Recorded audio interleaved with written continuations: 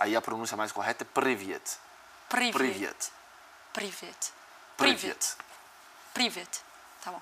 Você pode começar tudo em russo. Pri- pri- Privet, minha é Mariana. Minha Mariana. Minha, minha. Me chamo Mariana. Privet. Você gostou, Foi né? bonito. Foi bonito. Tá vendo? Eu não já sei falar russo. Agora eu vou ficar um nojo.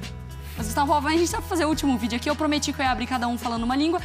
Obviamente foi um fracasso. Vamos falar sobre o grupo C, que eu acho que a gente tem mais coisa pra falar, né, Gustavo? Melhor, né? Melhor, É melhor. porque agora o caminho é o árabe, tem que estudar árabe. É verdade, árabe, árabe. Vou... Depois você me ensina como fala oi em árabe também. O- Oi, oi, oi, eu não lembro agora. Nossa, o básico do negócio. Oi. Não, é, o Marcos Barran. É, não, Marcos Barran acho que é tchau. Depois eu vou bem. estudar melhor ainda. Então vamos lá. Uruguai, Japão. Chile, Equador no grupo C. Vamos Primeiro lá. colocado. É, para mim, o Uruguai é a principal força desse grupo. Equipe treinada pelo Oscar Tabares, treinador há mais tempo no cargo é, nessa Copa América, desde 2006. Um time que muita gente fala sobre o envelhecimento da seleção uruguaia, mas não é por aí. Você já tem uma geração mais nova entrando nessa seleção também. E aí depois, para mim, tem um equilíbrio grande por aqui. Por aqui, porque né? Eu acho que é mais difícil. não acho que haja nenhum grande time entre Japão, Chile e Equador.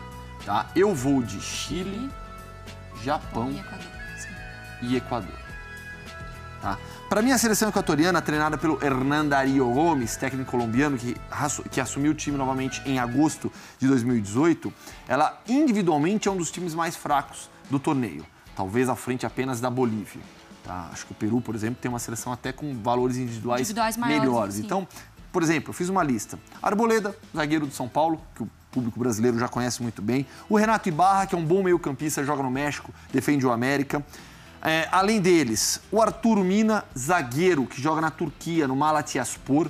Tem como grande destaque, e a gente já vai ver isso agora, é, ainda o Antônio Valência. Tá aqui, Sim. ó. Já vou começar com o Equador, Com o Equador. na parte de baixo. Veterano lateral direito do Manchester United, 32, 33 anos, que na seleção equatoriana, pelo talento que tem, pela capacidade física que tem também, muitas vezes joga na segunda linha. Ao invés de fazer a linha de defesa, o Valência joga em uma segunda linha aberto pelo lado direito. E tem ainda o Ener Valência, que não é parente do Antônio Valência, é um, um, dos destaques também dessa seleção, atacante, meio atacante, atacante, joga pelo lado, está no futebol mexicano, mais um que está no futebol mexicano, joga pelo Tigres, Tigres. de México. Ok.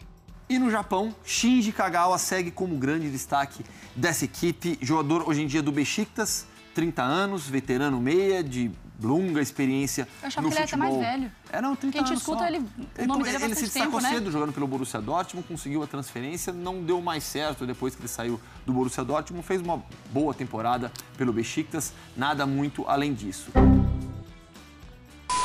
Fala Mari, tudo bem? Lembra quando a gente gravou esse especial sobre a Copa América com os destaques de cada seleção?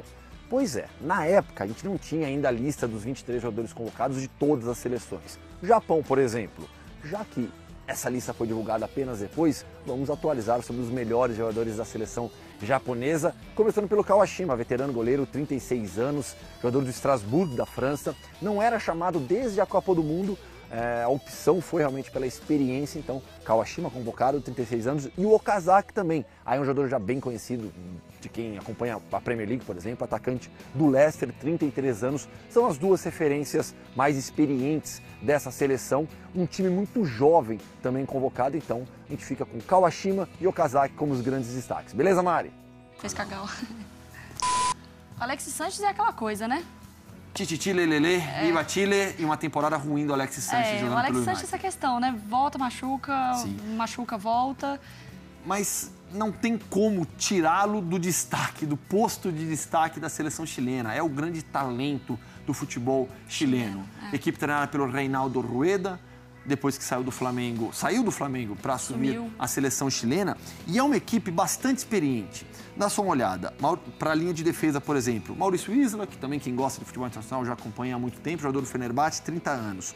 Gonçalo Rara, joga na Argentina, no Estudiantes, 33 anos. Gary Medel, 31 anos, jogador do Besiktas, e Sevilha também. Então você tem na toda a defesa jogadores experientes. isso faz uma diferença. Num grupo pesado, num, Sim. vai encarar um tão Uruguai. equilibrado, seleção uruguaia vai de- falar de também. defesa, sim. Exato. Então, além dele, Vidal, 31 anos, Charles, Charles Arangues, ex-jogador do Internacional, Leverkusen, hoje em dia, segue no Leverkusen, 30 anos. E o próprio Alex Sanches tem 30 anos. Então, é uma seleção, é uma geração que ganhou muito pelo Chile com aquelas duas, as duas últimas Copas América, né? a, a edição centenário e a anterior que teve a enorme decepção de ter ficado fora da Copa do Mundo e que agora vai novamente jogar. Vai entrar forte. Muita gente tá Copa botando América. muita, muita força no, no, no Chile. Eu também acho que vai ser um. Vamos ver, mas acho que é um grupo bem, bem Eu acho que é o mais equilibrado. equilibrado, né? Ah, sim, com é certeza. mais equilibrado. Com certeza, até pelo Japão. O Qatar é um time, para mim, É. abaixo e a Bolívia também bem abaixo. Uruguai. Uruguai. Do Uruguai. O Uruguai é um Gosto. time velho, Gosto. né? Que não Gosto. renova, não é verdade? Lá vai. Não é bem assim. Eu não vou responder porque eu Fernando Muslera, 32 anos. Diego Godin, 33. Stuani, de excelente temporada na Espanha, 32. Edson Cavani, 32.